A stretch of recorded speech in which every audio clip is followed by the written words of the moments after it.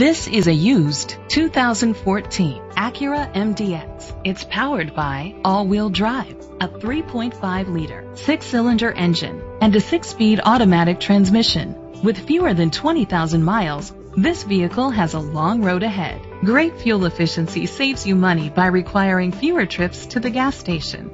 The features include a power sunroof, internet connectivity, electric trunk, leather seats, heated seats, Bluetooth connectivity, Sirius XM satellite radio, digital audio input, steering wheel controls, memory seats.